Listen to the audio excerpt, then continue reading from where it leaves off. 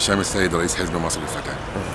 كلمنا حضرتك عن الماكينة الري الجديدة والله هو ده آه، حاجة من ضمن ال- الحاجات اللي آه، الحزب إن شاء الله ناوي الفترة الجاية يتقدم بيها. هي بتوفر آه، تقريبا 25% من نسبة المية.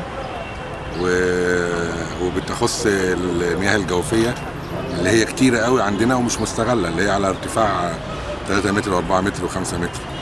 فطبعا دي هتبقى يعني يعني كمية مية آه، موجودة عندنا في الأرض وبتطلع آه، وإحنا مش مستغلينها خالص. فدي ده الأساس منها يعني دي حاجة إضافية. وفي نفس الوقت بتوفر في في المية.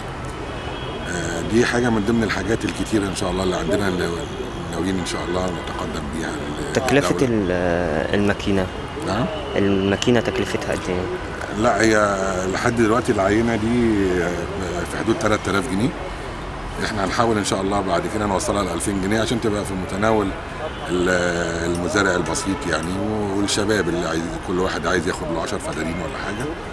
آه، نبدأ نديله آه، ماكينة من دي تبقى في متناول الإيد يعني آه، آه، تبقى سعرها هيبقى معقول إن شاء الله. آه، هل الفكرة لاقت آه، قبول من وزارة الري والزراعة؟ ولا؟ آه آه الحقيقة آه لاقت قبول من وزارة الري ووزارة الزراعة.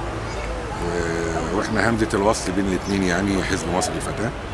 آه من ضمن مشاريع كتير قوي إن شاء الله داخلين بيها خاصة بال- بالزراعة يعني إن شاء الله. تقييمهم كان للمش... للماكينة إيه؟ هو كان ليهم بس بعض التعديلات ال- الارتفاع بس اللي هو كان قال عليه الدكتور آه، علي وزاره الري هو عايز يقلل الارتفاع شوية عشان آه، يبقى يدي يدي دفعه أكبر لل- لل- للمستوى يعني.